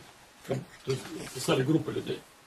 На основе, на основе наших сбежавших туда. Но он сейчас в Англии вроде. Да, в этом писали. В общем, то, что написал так называемый Суворов, да, этот, как его фамилия, я уже забыл. Ой. Да. Вот. Это написал Киселинг, немецкий фельдмаршал. И все, что в этой книге, это списано с Киселинга. А впервые о том, что Сталин хотел напасть на Германию, на Нюрнбергском процессе адвокат Геринга сказал. Так что все это, ну как вам сказать, ну, ну борются разведки, ну мои дорогие. И у нас люди все ищут правду. Какая правда? Борьба идет. Вот они борются как умеют. Каждый работает как умеет. Важен, говорит, результат. А результат не в вашу пользу. Владимир Михайлович, вы сказали про жену а, Молотова. А институт сионских девиц все-таки работал эффективно? Кто? Институт сионских девиц, ну так называемый. Не понял. Институт сионских девиц, ну, как бы подкладывание еврейских э, женщин под э, ключевых руководителей партии. Было дело? Но там разные вещи были. Понимаете, я, вот вы, наверное, у меня почувствовали, у меня большое к ним презрение ко всем. Потому что они, в общем, кретины. Погибают, как тараканы все. Вот вы в Бутово поезжайте, посмотрите, там штабелями лежат все красавцы. И не делают вывода. Ну как можно? А памятники стоят? Нет, ничего нет. А как найти? А там есть у них доска, где они там эти расстрелянные, уб- убиенные. А вот э, скажите, Борман, Борман, кто он? Ничего не знаю про него. Умный был человек. Рассказывают разные вещи, я не знаю ничего. Я знаю Лагутина. Бормана не знаю. Но это тень Гитлера.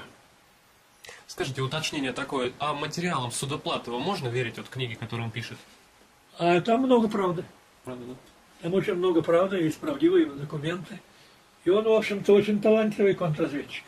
От него отнять нельзя этого. Они в войну... Ну, там еще очень большой был человек, другой там еврей был, у него заместитель. Вот который, в общем, террором ведал. Это здорово он работал очень. И вот скажите еще по поводу э, э, Зорге. Зорге. Было ли такое, что он наказ- Он, он чей? Немецкий. Немецкий. Был на личной связи Гейдриха, начальника уп- управления германской безопасности. Вот почему ему и героя не дали. Он же всех предал. В японской разведке, контрразведке три тома есть его этих показаний. Он же всех за- заложил своих агентов. Вот. Поэтому Сталин и сказал, мне никаких сведений дополнительных не надо. Я и так все знаю. У нас был представлен как герой. Ну вот, что он сообщил, да, накануне войны, так сказать. Да, все это известно было. А, и- а что с ним произошло потом? Его убрали? Ну, конечно, не помню. Его японцы повесили. На всякий случай.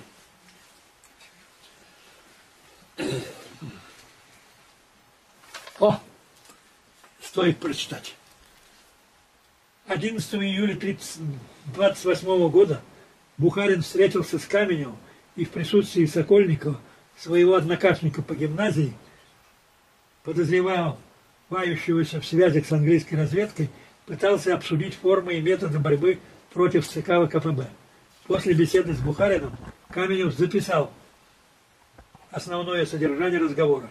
Эта запись Каменева попала к Троцкому и через некоторое время стала известна нашей контрразведке. Вот запись беседы, записанной Каменем. Сокольников. Бухарин окончательно порвал со Сталином и находится в трагическом положении. Бухарин. Сталин это Чингисхан и беспринципный интриган, который все подчиняет сохранению своей власти. Сталин знает одно средство – месть, и в то же время всаживает нож в спину. Поверьте, что скоро Сталин нас будет резать. Что касается политической линии Сталина, то она гибельна для революции и ведет к гражданской войны. С ним мы можем пропасть. Сокольников, Томский как-то сидя за столом со Сталиным, сказал ему, наши рабочие скоро стрелять в тебя начнут. Бухарин, при Сталине и тупице Молотова, который учит меня марксизму и которого мы называем каменной задницей, ничего сделать нельзя. Каменев, каковы ваши силы? Бухарин, наши потенциальные силы огромны. Рыков, Томский, Угланов абсолютно наши сторонники. Я пытаюсь оторвать от Сталина других членов Политбюро, но, значит, пока получается плохо. А Орджоникидзе не рыцарь ходил ко мне и ругательски ругал Сталина, а в решающий момент предал. Ворошилов с Калининым тоже изменили нам в последний момент. Я думаю, что Сталин держит их какими-то особыми цепами. Оргбюро ЦК КПБ наше, руководители ОГПУ Егода и Трелисер тоже, Андреев тоже за нас. Свою главную политическую задачу я вижу в том, чтобы последовательно разъяснять членам ЦК губительную роль Сталина и, и подвести середняка цикиста к его снятию. Каменев, но пока он снимает вас, Бухарин, что мы можем сделать? Снятие Сталина сейчас не пройдет в ЦК. Однако подготовку к этому идет. Планирую опубликовать в «Правде» статьи с критикой Сталина, а также доклад Рыкова, в котором поставить все точки над «и». Неожиданно Бухарин впал в истерику и, к удивлению Каменева, закричал «Если страна гибнет, мы гибнем. Если страна выкручивается, Сталин вовремя поворачивает, и мы тоже гибнем. Что же делать?» Не получив ответа Каменев и внешне успокоившись, Бухарин сказал, Сталин распускает слухи, что имеет вас с Зиновьевым в кармане. Он попробует вас подкупить высшими назначениями или назначить вас на такие места, чтобы ангажировать. И вдруг с безнадежью в голосе. Бухарин проговорил, мы ничего, наверное, не знаем. И тут же обратился к Каменеву с просьбой. Я просил бы, чтобы вы с Зиновьевым одобрениями Сталина не помогали ему душить нас. Прошу вас сказать своим, чтобы они не нападали на нас. В конце записи своей беседы с Бухариным Каменев отметил. Бухарин производит впечатление чрезвычайно потрясенного и до крайности замученного человека, создающего свою обреченность. Николаев. И таких документов тьма, которые никто не читал, не видел. Ни на никакую историю. Книжка эта Истину не знает. произвела такое впечатление с ног. Вот мне дали тогда сразу вот этого почетного академика Брюссельской академии. Они так все фиксируют свои идеи. Да, Вот, Александрович. он у меня есть бумага. Лежит. Где она? Вот.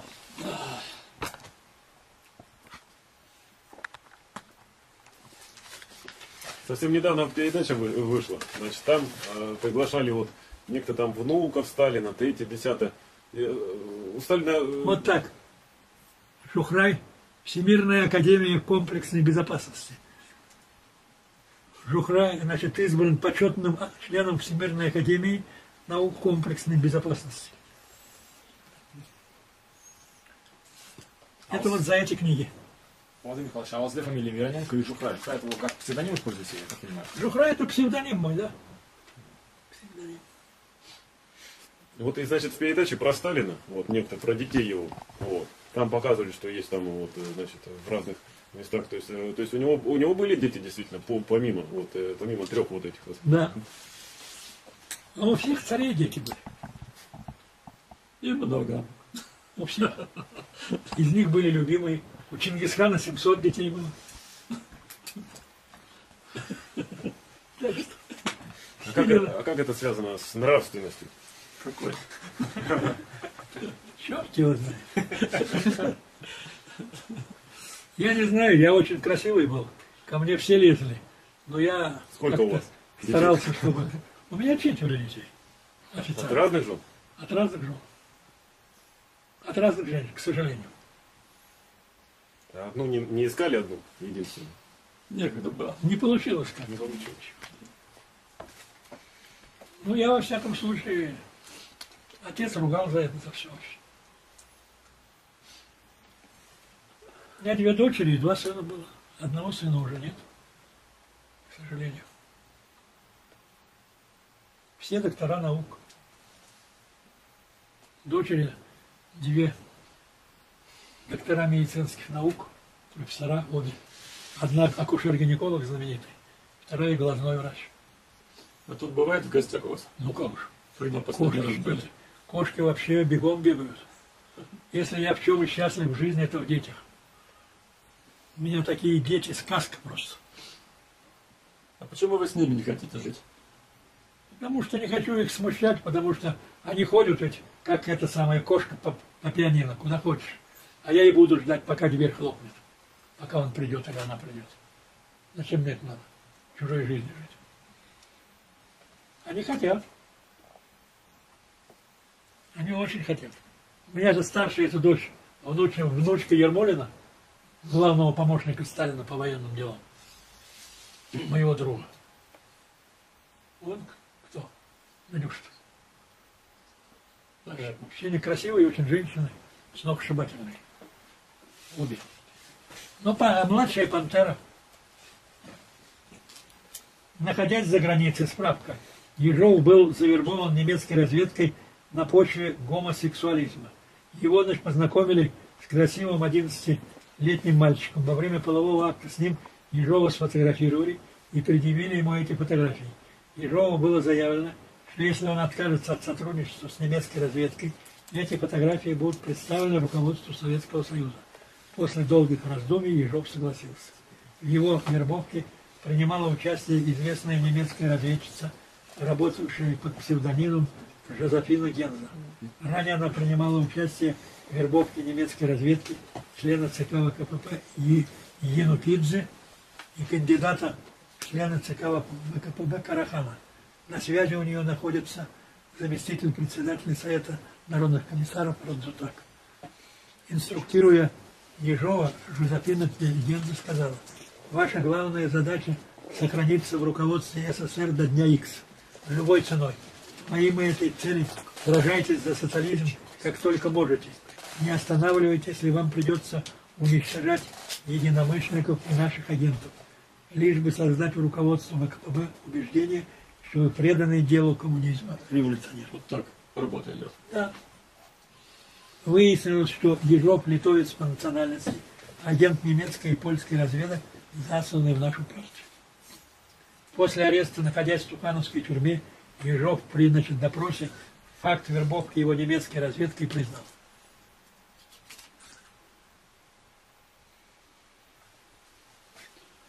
Ну При- может быть, достаточно? Исключение из состава ЦК ВКПБ товарищ Сталин сказал бывшему наркому НКВД Николаю Ежову, я больше всех виноват, что доверил вам. НКВД, а вы оказались обычным жалким алкоголиком. Ежов расстрелян за необоснованные репрессии против советского народа.